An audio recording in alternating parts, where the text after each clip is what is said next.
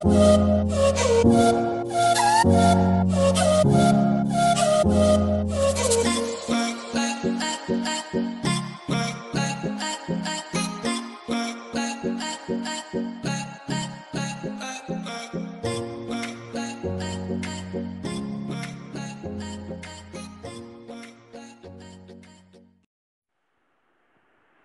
friends assalamu alaikum welcome back to mom and me kitchen. ഇന്ന് ഒരു ഇഫ്താർ special സ്നാക്കിന്റെ റെസിപ്പിയുമായിട്ടാണ് ഞാൻ വന്നിരിക്കുന്നത്. സ്ട്രൈപ്പ് സമോസ. ഉണ്ടാക്കാനും വളരെ എളുപ്പമാണ് കാണാനും നല്ല ഭംഗിയാണ് വളരെ ടേസ്റ്റി ആയിട്ടുള്ള ഒരു സ്നാക്കാണ് എല്ലാവരും തീർച്ചയായും ട്രൈ ചെയ്ത് നോക്കണം. വളരെ എളുപ്പത്തിൽ തയ്യാറാക്കാൻ പറ്റുന്ന ഒരു സ്നാക്കാണ് അപ്പോൾ ഇനി നമുക്ക് വീഡിയോയിലേക്ക് കിടക്കാം.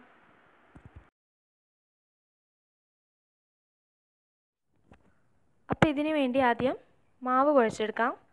ഒരു കപ്പ് മൈദയിലേക്ക് അല്പം ഉപ്പും ഒരു ടേബിൾ സ്പൂൺ സൺഫ്ലവർ ഓയിലും ചേർത്തിട്ട് ഇതൊന്ന് കുഴച്ചെടുക്കാം. ഇത് മിക്സ് ചെയ്ത് വെച്ചിട്ടുണ്ട്. ഇനി ഇതിലേക്ക് ആവശ്യത്തിന് വെള്ളം ചേർത്ത് കുഴച്ചെടുക്കാം.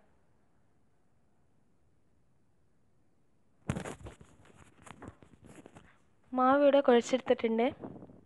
ഇനി ഇതിലേക്കുള്ള ഫില്ലിങ് തയ്യാറാക്കാം.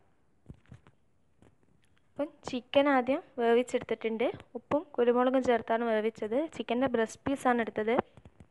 ഞാൻ ഇവിടെ ഒരു മൂന്ന് പീസ് എടുത്തിട്ടുള്ളൂ. ഇനി ഇതൊരു മിക്സിയുടെ ജാറിലിട്ടൊന്ന് ഷ്രെഡ് ചെയ്തെടുക്കാം.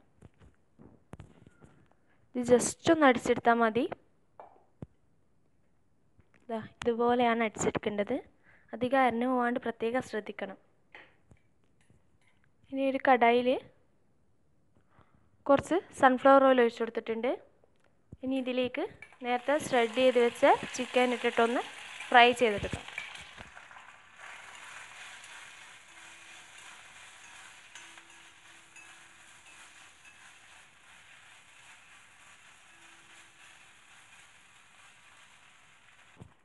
ചിക്കൻ ഇവിടെ ഫ്രൈ ആയി വന്നിട്ടുണ്ട്. നമുക്കിതൊരു ബൗളിലേക്ക് മാറ്റാം.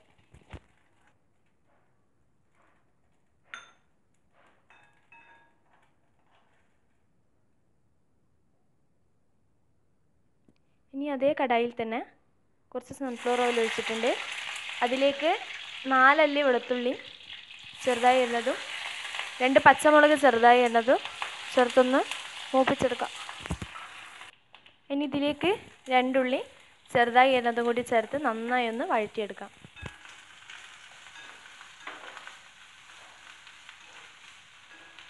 ഇനി ഇതിലേക്ക് ആവശ്യത്തിന് ഉപ്പും കൂടി ചേർത്ത്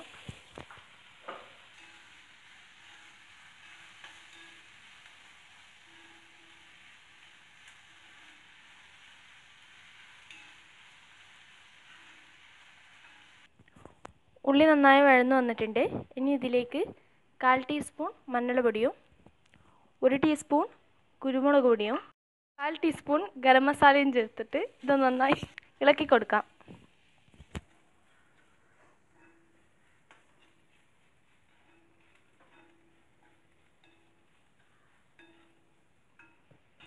ഇനി ഇതിലേക്ക് നേരത്തെ ഫ്രൈ ചെയ്ത് വെച്ച ചിക്കൻ ഇട്ട് കൊടുക്കാം.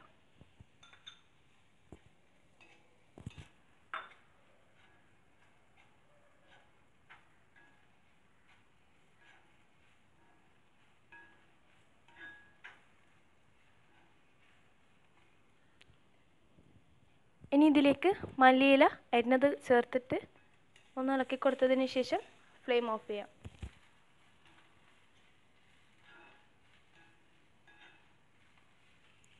ചിക്കൻ ഷ്രെഡ് ചെയ്തിട്ട് ഫ്രൈ ചെയ്തുകൊണ്ട് ഇതിന് വേറെ തന്നെ ഒരു ടേസ്റ്റാണ് ഇനി നമുക്കിതെങ്ങനെയാണ് ഉണ്ടാക്കുന്നത് നോക്കാം.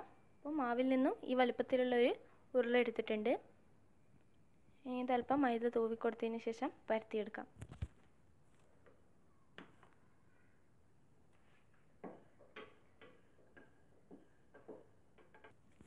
അപ്പോൾ ഇത് പരത്തി എടുത്തിട്ടുണ്ട് ഒരുപാട് തടിയും പറ്റില്ല. ഒരുപാട് നേർങ്ങനെയും പറ്റില്ല. ഇത് ഈ ഒരു തടുപ്പിലാണ് പരത്തിയെടുക്കേണ്ടത്. ഇനി ഇതിന്റെ നാല് ഭാഗവും കട്ട് ചെയ്ത് കൊടുക്കാം.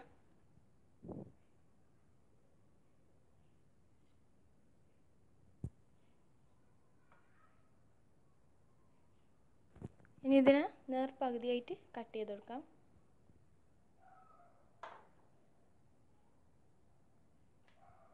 എന്നിട്ട് ഇതിങ്ങനെ ക്രോസ് ഷേപ്പിൽ വെച്ച് കൊടുക്കാം എന്നിട്ട് ഇതിന്റെ നടുക്ക് ഫില്ലിങ് വെച്ച് കൊടുക്കാം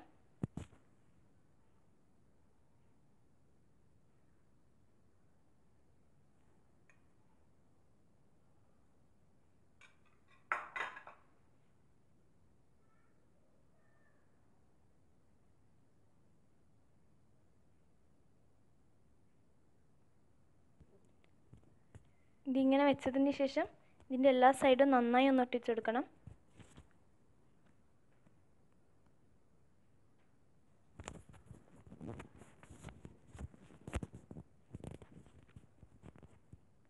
ഈ രണ്ട് സൈഡും വെച്ച് മടക്കി നന്നായി ഒട്ടിച്ചെടുത്തിട്ടുണ്ട്.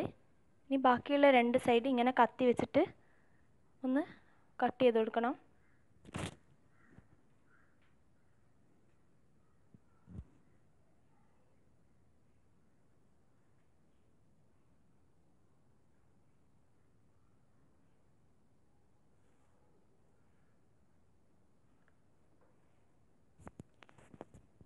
ഇനി ഇത് ഇതിൽ കാണുന്നത് പോലെ ചെയ്ത് കൊടുക്കുക. നിങ്ങൾക്ക് ഇഷ്ടമുള്ള മോഡലാക്കി കൊടുക്കുക ഞാനിതൊരു ഭംഗിക്ക് വേണ്ടിയാണ് ഇങ്ങനെ ചെയ്യുന്നത്.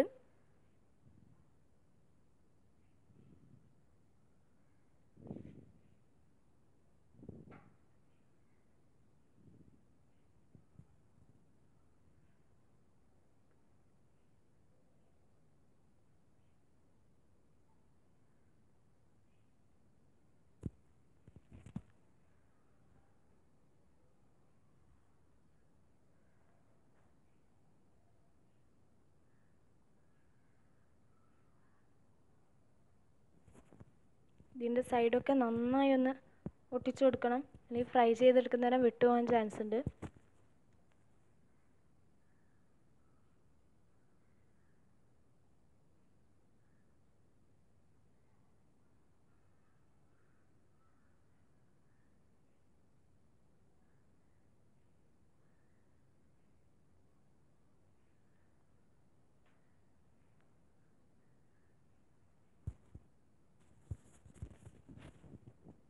ഇത് ഇതുപോലെയാണ് കിട്ടാൻ ഇനി ബാക്കിയുള്ളത് നമുക്ക് ഇതുപോലെ പരത്തിയെടുക്കാം.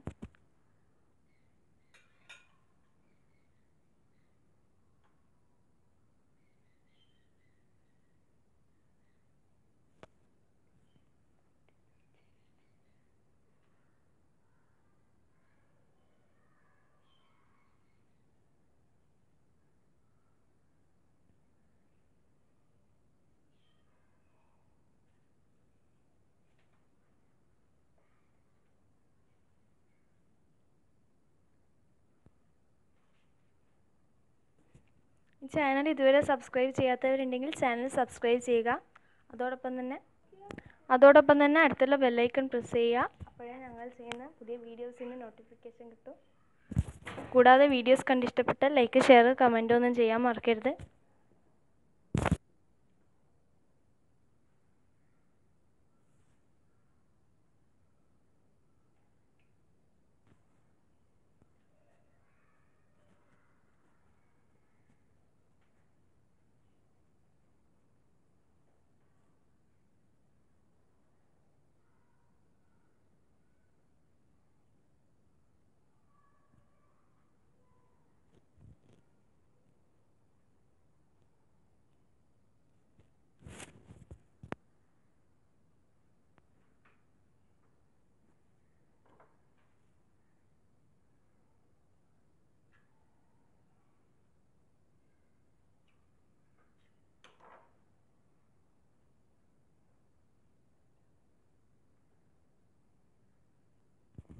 അപ്പോൾ ഇത് പൊരിച്ചെടുക്കേണ്ട ഓയിൽ ചൂടായിട്ടുണ്ട് ഇനി നമുക്കിത് ഫ്രൈ ചെയ്തെടുക്കാം.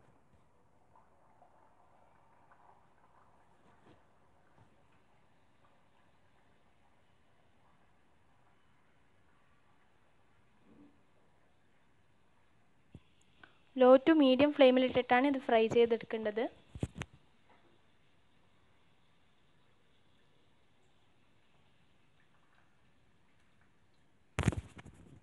ഒരു സൈഡ് ആയിട്ടുണ്ട് ഇനി നമുക്കിത് തിരിച്ചിട്ട് കൊടുക്കാം. ഹൈ ഫ്ലെയിമിലിട്ട് ഫ്രൈ ചെയ്ത് കഴിഞ്ഞാൽ ഇതിന്റെ മാവ് എന്ത് കിട്ടത്തില്ല.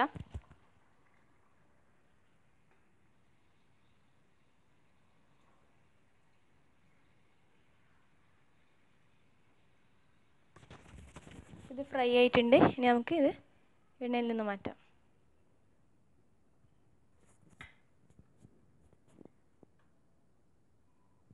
ഇനി ബാക്കിയുള്ളതും ഇതുപോലെ ഫ്രൈ ചെയ്തെടുക്കാം.